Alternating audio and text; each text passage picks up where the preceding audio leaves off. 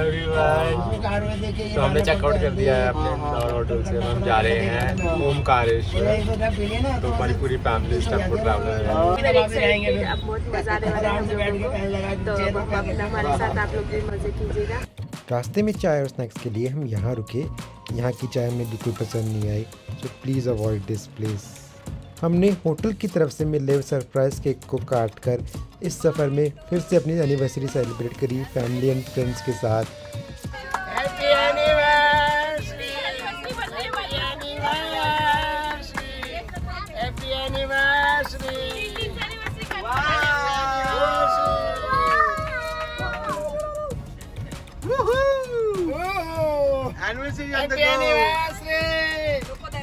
गाड़ी में सेलिब्रेशन गाड़ी में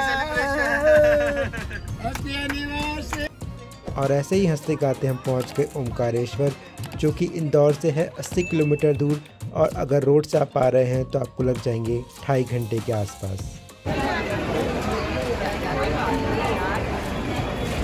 दस रुपए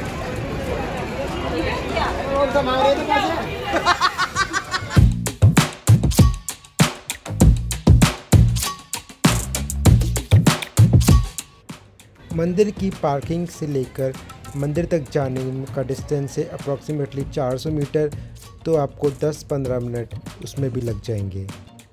ओमकारेश्वर ज्योतिर्लिंग शिव जी के 12 ज्योतिर्लिंगों में से एक है और मध्य प्रदेश में महाकाल ज्योतिर्लिंग के बाद दूसरा ज्योतिर्लिंग है। नर्मदा नदी के तट पर बना हुआ है ज्योतिर्लिंग। बहुत ही सुंदर दिखता है और यह माना जाता है कि भगवान शिव रात को यहाँ विश्राम करने आते हैं।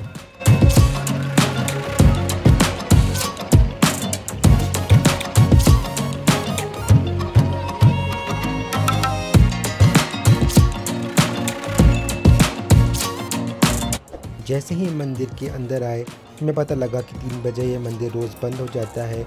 एक घंटे के लिए भगवान शिव के श्रृंगार के लिए और यहाँ भीड़ भी बहुत ज़्यादा थी।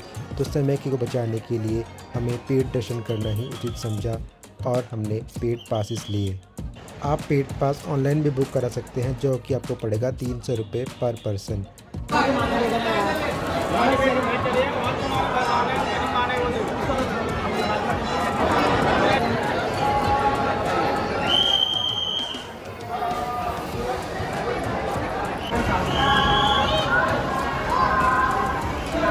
जैसे आप लाइन में लगेंगे, आपको यहाँ और भी छोटे छोटे मंदिर दिख जाएँगे, जैसे कि यहाँ पे था शनिदेव का मंदिर।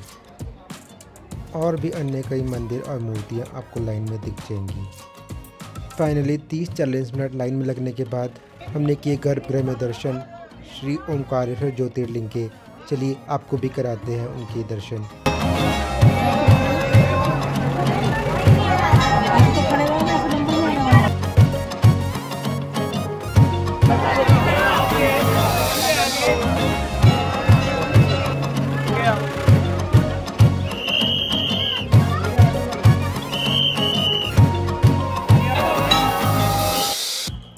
दर्शन तो हमें काफ़ी अच्छे हो गए और वापसी में हमें एक बहुत ही अच्छे जूस वाले भैया मिले जिन्होंने हमारे हमें मंदिर के बारे में और बताया। ये तो जन्म से ही पैदा हुआ हूँ यहाँ पे। यहाँ पे ना? बोलते हैं हर हर महादेव। हर हर महादेव जय ओमकार जी की। जय ओमकार जी। मैं फिर से बताओ कितने बजे आए व्यूअर्स हमारे व्यूअर्स आएँगे। पाँच बीस को मंदिर खुलता है। हाँ। पाँच पंद्रह को लाइन में लग जाना चाहिए वहाँ पे। ओमकार मंदिर। पाँच बजे लेकर बारह बजे तक बारह बीस तक दर्शन होते हैं। जल चढ़ता है।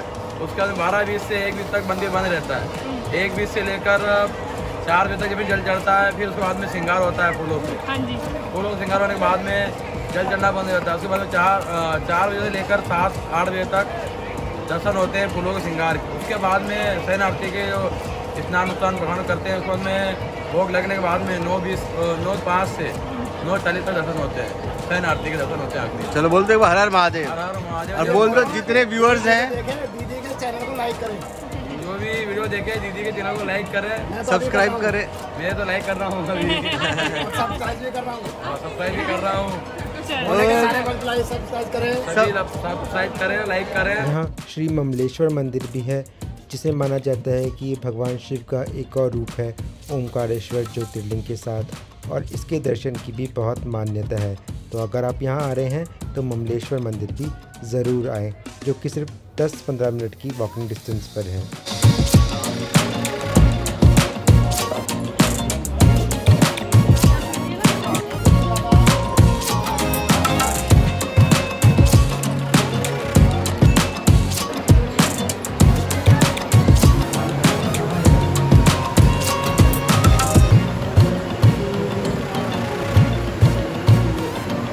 जानते हैं ममलेश्वर मंदिर के बारे में कुछ यहाँ के लोकल दुकानदार से। प्राचीन बताते आ रहे हैं ऐसे कि 6000 साल प्राचीन पुराना है। आरती कितना टाइम होती है इसकी? श्रृंगार आरती वगैरह इसके बारे में बताइए कुछ। नौ बजे होती है। दोपहर को? दोपहर को बारह बारह और शाम को? शाम को नौ बजे। सेज आरती? रात वाली? रात वाली तो नौ बजे होती है सुबह पाँच अच्छा। पाँच बजे से ठीक है। और ये बारह ज्योतिर्लिंग में से एक ज्योतिर्लिंग है। चौथे नंबर का देते चौथे नंबर का ज्योतिर्लिंग है। अच्छा। और ओंकारेश्वर स्वयं बोली तो हम आ गए हैं दर्शन करके ओमकारेश्वर के और ममलेश्वर के। अब इसके बाद हम जा रहे हैं यहाँ से उज्जैन। हाँ अभी हम पार्किंग में जा रहे हैं हमारा टेंपो ट्रैवलर खड़ा है। और इसके बाद हम जाएँगे उज्जैन। तो आपने छोटा सा इंटरव्यू देखा अभी हमारे ब्लॉग में जो हमारे पापा ने ज़बरदस्ती से लिया। जो यहाँ के ही लोकल है। और यहाँ के बारे में जो जानते हैं उन्होंने हमें अपनी जानकारी दी है उसके अपने अनुसार हो सकता है आप उस जानकारी का फ़ायदा उठा के अपना प्लानिंग ढंग से कर पाएँ आप हम आपकी हेल्प कर पाएँ। और हम जा रहे हैं अजहबत जैसे कोमल ने बताया उज्जैन टेंपो ट्रैवलर से। वहाँ पे भी हमने एक air N B N B book किया है। उसका भी टूर आपको देंगे। से स्टे ट्यून लेकिन अभी हम भूख भी लगी है तो थोड़ी देर में हम रुकेंगे शायद लंच के लिए। और आ गए हम पार्किंग में। बने रहिए हमारे साथ।